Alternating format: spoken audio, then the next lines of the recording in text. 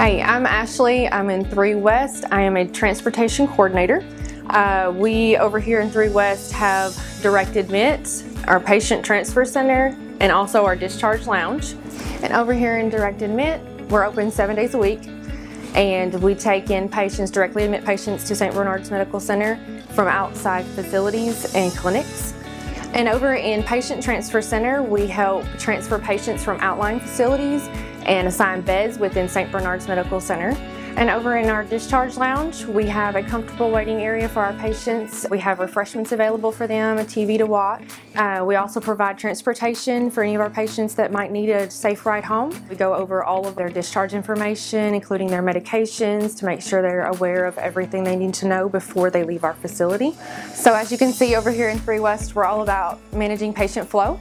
Um, so I hope this helped give you a good sneak peek into what we do.